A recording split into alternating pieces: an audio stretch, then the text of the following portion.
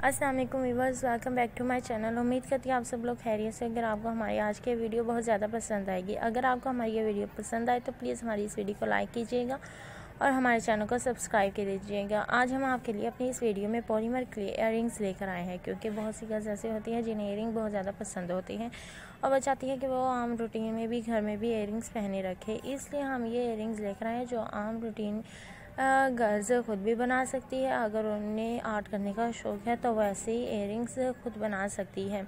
क्योंकि ये वो एयरिंग्स है जो आम तौर पर आम से एक लड़की भी बना सकती है। अगर आपको ये बनाने नहीं आते तो आप हमारी किसी भी दूसरी वीडियो को विज़िट कीजिएगा और हमारे चैनल को विज़िट कीजिए, ताकि आपको ये बनाने का तरीका भी पता चल सके। और आप घर में बैठे एक मिनट में ये बनाने का तरीका देख सकते हैं और आपको पहनने में भी बहुत अच्छा लगेगा, क्योंकि वो एयरिंग आपने खुद अपने हाथ से बनाया होगा और आप बहुत ज़्यादा कंफर्टेबल फील कीजिए, करेगी।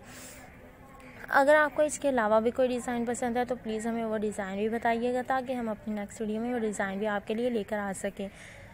अपनी कमेंट हमें राय ज़रूर बताइएगा, ताकि हम आपके राय के बारे में जान सकें, और हमारी इस वीडियो को ज़रूर लाइक कीजिएगा, हमारी इस वीडियो को शेयर भी कीजिए अपने रिलेटिव्स और अदर जहाँ जहाँ आप ये वीडियो शेयर कर सकते हैं।